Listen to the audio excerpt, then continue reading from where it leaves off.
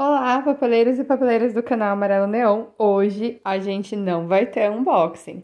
Na verdade, eu quis trazer para vocês um novo quadro aqui no canal, que é decorando as coisas ou fazendo coisinhas com adesivos. Ainda não decidi muito bem o nome, mas hoje eu vou usar os adesivos que vieram na caixinha da Paper Heart Box. Inclusive, para quem não conhece essa caixinha incrível, tem unboxing mensal aqui no canal Amarelo Neon e tem cupom para vocês assinarem que já está aparecendo aí na tela para vocês. Essa edição foi tema arte e foi uma edição muito surpreendente. A próxima é tema retrô. Então, para você que ainda não garantiu a sua, corre garantir, porque eu tenho certeza que vai ser mara.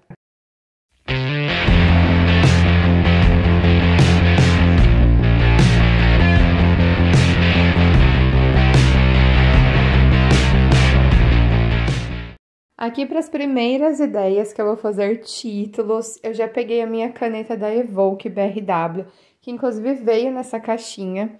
Ela tá sensacional porque ela é uma dual point e dá pra gente fazer muito truque bacana com ela.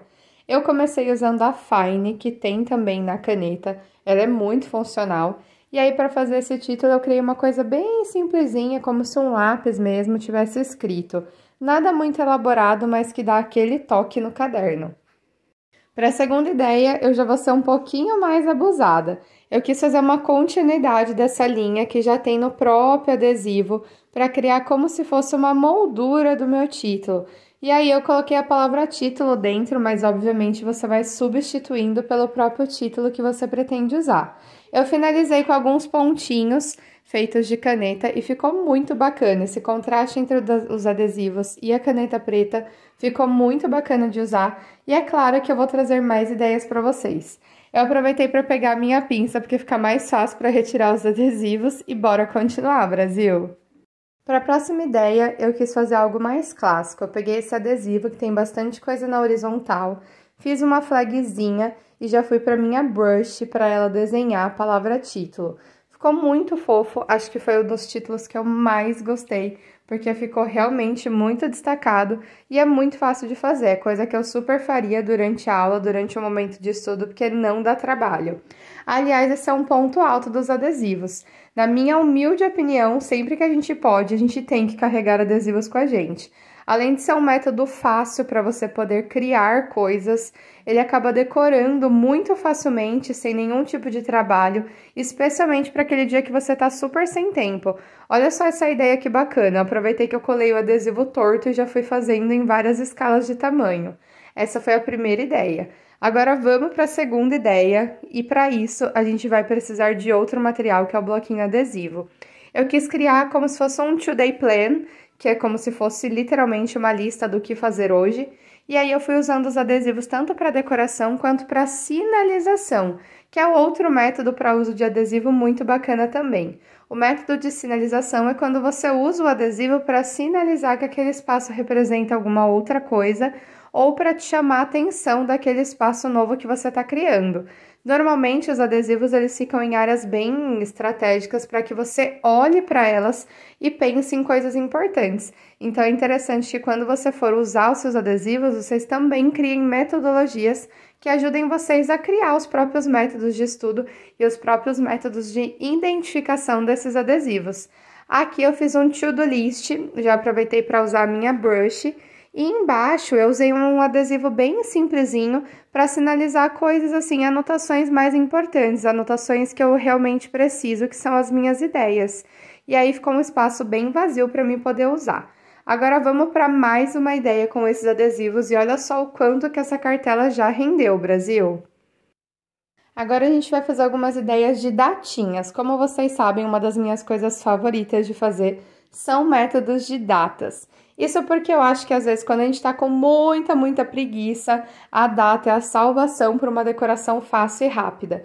Eu sempre cito para vocês maneiras mais fáceis de decorar o caderno, porque eu sempre fui uma pessoa muito sem tempo. Então, para mim é fora de questão pensar numa página toda colorida que eu vou ter horrores de trabalho antes de eu usar.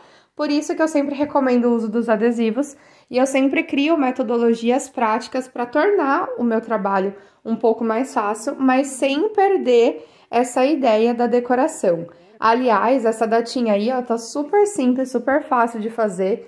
E mesmo usando adesivos pequenininhos, você pode ver que ele dá uma grande diferença no resultado final. Eu tô usando a brush, mas é claro que vocês podem usar qualquer outra caneta e fica sensacional também. Outra dica que eu queria aproveitar para dar para vocês aqui, já que estamos falando de adesivos, é sempre ter uma pastinha que separe os seus adesivos. Aqui na minha casa, como eu assino muito clube de assinatura, eu sempre pego uma pasta que vem no próprio clube, porque normalmente, como são muitas edições, em alguma delas acaba vindo uma pasta, e eu vou guardando separado pelos clubes. Então, a Paper Heart Box, ela tem uma, uma pastinha só para ela, e aí o que eu vou deixando de usar, né, aquilo que sobra, eu sempre vou guardando lá, porque sempre surge uma oportunidade legal para usar também. Uma outra dica é quando sobra a sua cartela, é você ir recortando os adesivos para poder usá-los soltos, para poder usá-los sem a cartela. Fica muito legal também e fica mais fácil para você acessar, daí você pode guardar até numa caixinha. Mas é claro que se você é do tipo que gosta de deixar tudo visível e colecionável, também super vale deixar numa caixinha com tudo guardadinho sem usar. Eu sou fã do uso. Eu acho que se veio, tem que ser usado, tem que ser aproveitado. Mas eu sei que também tem muito colecionador que curte deixar guardadinho e tá tudo bem também. Ah, gente, detalhe, a Paper Heart Box ela trabalha sempre com dois planos, que é o Premium e o normal. O meu plano é o Premium e o mais legal é que assim vem muito completa, vocês conseguem garantir lá pelo site. Inclusive com o cupom tem 10 off de desconto na primeira caixinha de assinatura. E o bacana é que também tem a Cutipanda, que é uma papelaria que faz a Paper Heart Box. E aí você pode agregar coisas lá para poder trazer junto com a sua caixinha, para aproveitar o mesmo frete. O mais legal é que a Cutipanda também sempre lança várias boxes extras. A última foi a edição Halloween, eu infelizmente não consegui garantir a minha tempo para trazer para vocês, mas estava sensacional. Eu vi alguns spoilers por aí, alguns unboxings e tava realmente assim muito incrível, então super vale a pena. Agora vamos para nossa última ideia ou a penúltima, ai não lembro, quando eu gravei esse vídeo eu tava tão empolgada que eu fui fazendo várias coisas sem pensar no amanhã. Mas agora a gente vai fazer um planner. Eu até peço desculpas para vocês que a folha deu uma leve cortada, na verdade o vídeo, né, deu uma leve cortada na folha, mas já estou providenciando um suporte novo, porque agora eu tenho um cantinho novo também e fica mais fácil para gravar para vocês. Aos poucos eu estou me adaptando ao novo espaço e é claro que para a gente ter adaptações, a gente precisa primeiro se acostumar, mas juro para vocês que estou buscando melhoras.